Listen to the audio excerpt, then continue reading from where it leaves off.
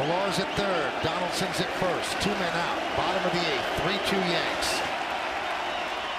They walked him. Bases loaded.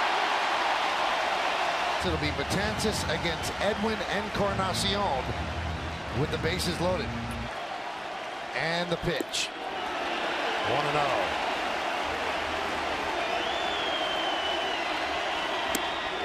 And he's lost the strike zone 2 0. No place to put Encarnacion.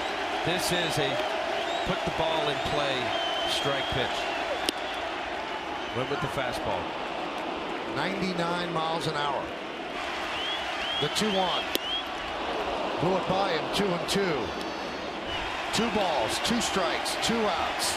Pitch. He got him. He threw the breaking ball out of the strike zone, and Encarnacion leaves the bases loaded. Oh, what an inning for Dellin Betances. Now let's go back to the final out there as Encarnacion's at the plate. Betances has painted himself into a corner.